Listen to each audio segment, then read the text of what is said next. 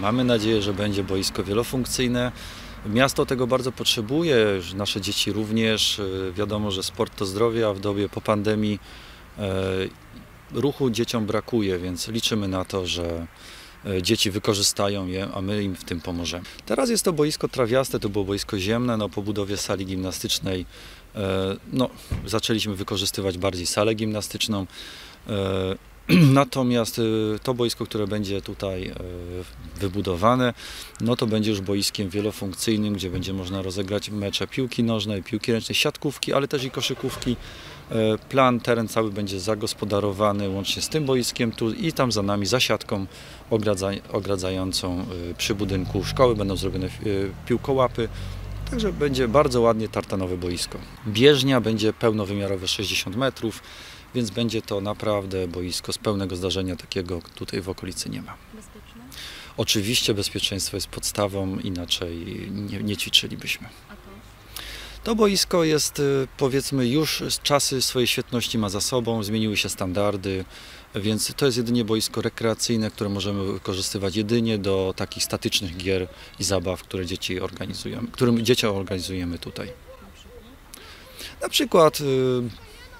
Rzuty piłeczką palantową, y, czy y, kopanie piłek, strzały do bramki. Także takie zajęcia, które no, już nie są tak atrakcyjne, jak mogłyby być przeprowadzone tutaj właśnie y, po wybudowaniu nowego boiska, na nowym boisku. To boisko jest odkąd ja pamiętam, to znaczy ciężko nawet powiedzieć od kiedy. To jest teren, który był bardzo długo, dawno. Boisko jest bardzo dawne tutaj, już od, odkąd pamiętam, przede mną, przed tym jak nawet zacząłem pracę.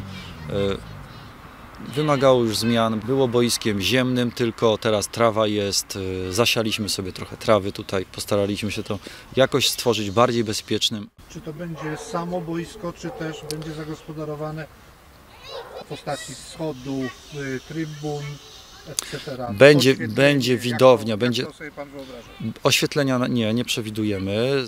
To natomiast jest tutaj y, zaplanowana widownia, trybuna po mojej lewej stronie na skarpie.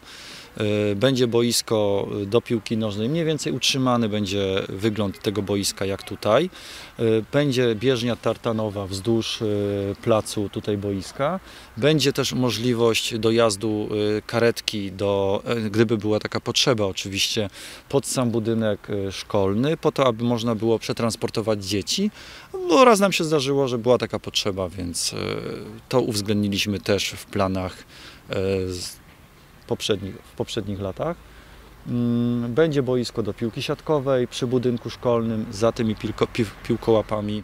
W obu budynkach jest około 620 e, dzieci plus dzieci szkoły muzycznej, ponad 120 to robi potężną liczbę. Jak na Pińczów to jest jedna z większych szkół, a w zasadzie zespołów szkół. Jedyny zespół szkół, a tutaj 740 dzieci około. Z oddziałami przedszkolnymi, e, których jest 75, czyli mamy bardzo dużo teraz zerówek.